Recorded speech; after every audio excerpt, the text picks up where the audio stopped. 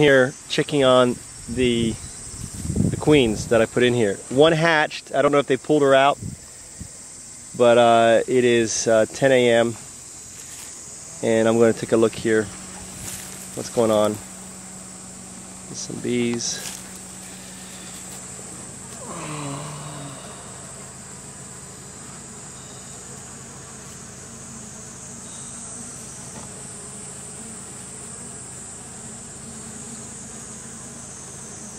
Filling it with honey.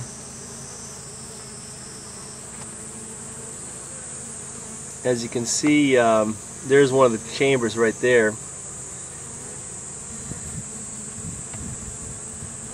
And uh, my question is,